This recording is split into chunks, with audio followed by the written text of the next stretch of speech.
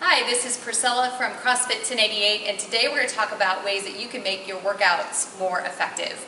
I get a lot of questions about how can I do more in less time and one of the ways that you can do that is by incorporating a kettlebell.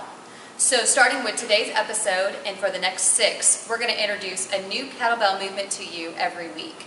We're going to start with the simplest one today and then we're going to progress on to the more complicated ones, but still very effective exercises. So let's start with the first one, and that is the kettlebell deadlift. I want you to think about two things when you include this movement in your workouts. Number one is weight. Because it's a deadlift, you're going to be using a lot of muscle groups, and you want to make sure that you've got a kettlebell that's substantial enough that's going to tax your muscles. So we're not talking about a kettlebell that's 10 pounds or less you need something at least 20 pounds, preferably 50, 60, 70 pounds, because you are picking this up off the ground and you're using your large muscles. The second thing that I want you to think about is your posture on this movement and to know that this isn't a squat, so we're not bending our knees a lot, although we'll bend them a little bit, but we're keeping that posture very tall. And you're going to be hinging from your hips here forward instead of um, bending or flexing the spine here. So I want you to think about your posture staying tall and hinging at your hips. That said, let's take a look at the setup for the kettlebell deadlift.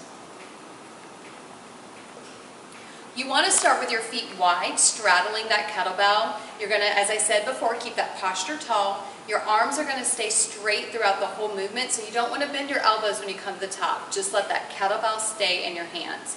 I'm going to hinge forward, leading with my chest, hands on my kettlebell, and I'm just going to stand up with it. It's as simple as that. That is a kettlebell deadlift. To do them in succession, I stand up, and then I tap, and I stand up, and I tap. Every time you stand up, you count one rep.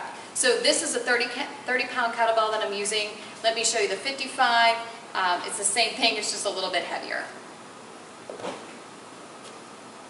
And I'll demonstrate this one from the side, just so you can see that hinge type of movement.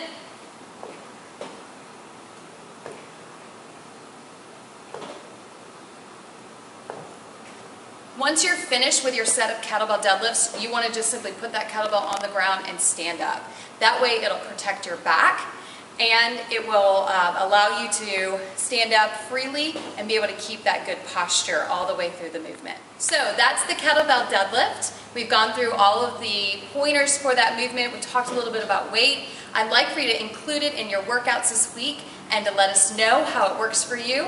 You can leave a comment below. You can certainly like this video and stay tuned in the following weeks to see new movements that you can add to your workouts.